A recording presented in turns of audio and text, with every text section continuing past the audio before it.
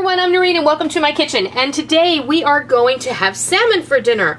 Now, my girls like it straight up just poached with lemon and tarragon, so that's how I'm going to make theirs.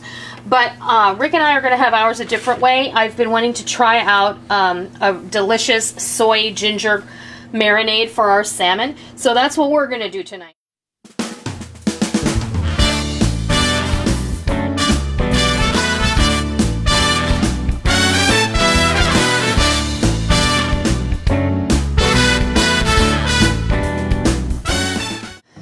And what I have is, I have a lime. I'm going to go ahead and squeeze that in there. And you don't need a lot. I'm going to say about a tablespoon of lime juice. If, I wouldn't put much more than that in there simply because you don't, you know, the citrus will actually cook your fish. And you don't want that. Um, then you'll end up with salmon ceviche and blech. I'm not a big fan of ceviche. That's just me.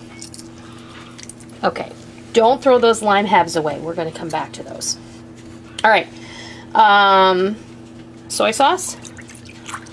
About a quarter of a cup. About two tablespoons brown sugar. About a tablespoon of toasted sesame oil. About one clove of chopped garlic. And then I have some ginger here, and I just showed you guys in another video a real quick way of peeling the ginger so that you don't have to use a knife even to do it. You just use the back of a spoon. So I'm going to chop just this little piece of ginger.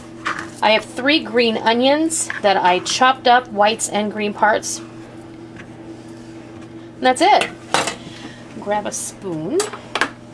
Give this a stir. Get everything mixed up in there really well.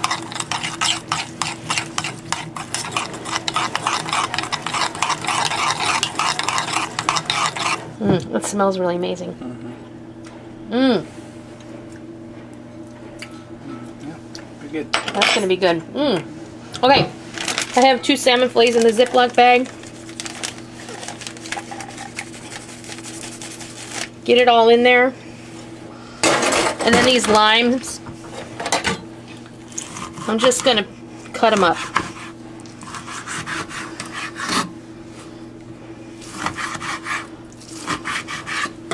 In. Now, and then get as much air out of there as I can.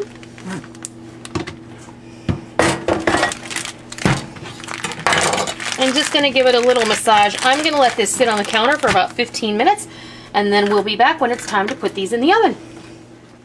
Okay, we are ready to pop our salmon fillets into the oven. I have my oven preheated at 350 degrees. I've taken them out of the marinade bag and we're just going to toss this. It's easy cleanup.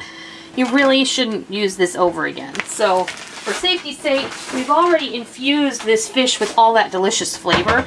So while I'm poaching the girl's fish on top of the stove, I'm going to pop this in the oven for about 15 minutes or so. Um, I will check it at 10 minutes and we're going to take it out just as it begins to flake and is still moist and delicious. So in it goes and turn the light on for you. We'll be back when that's ready to take out. Okay, it has been about 10 minutes and I just tested it with a fork. It started to flake, so guess what? We're going to take it out of the oven and we're going to let it rest for a minute. It smells fantastic. It looks beautiful. You can see how that marinade has kind of created with that little bit of sugar in there, uh, its own glaziness, and it looks beautiful. So mm -hmm. I mm-hmm. can't wait to try it. We're going to let it does look nice, doesn't it? Mm -hmm. uh, we're going to let it sit for a few minutes. I'm waiting for my rice to finish, and then we're going to fix you a plate, and I'll show you what it looks like. Okay. There you have it, a beautiful plate for a Sunday meal. We have our glazed soy ginger salmon fillet that just took about 10 minutes in the oven, and it's perfectly cooked. I made some mushroom rice pilaf, and I steamed some green beans with a little olive oil, salt and pepper, and they're delicious. So that is a beautiful meal. I hope you try it. It's super simple. I hope you love it. Until next time, I'll see ya. Thank you for joining me in my kitchen today. I hope you liked what you watched today, and I hope that you try it, and I hope that you love it. Um, if you like what you saw, please consider hitting the thumbs up button and giving me a positive rating. And also, make sure that you hit the subscribe button if you're already not a subscriber so that you don't miss out on any of the fun we have here in our kitchen every single day.